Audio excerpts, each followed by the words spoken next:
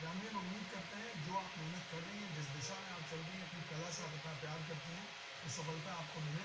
और वो सफलता सिर्फ़ आपकी सफलता है। से बात करने के लिए बहुत बहुत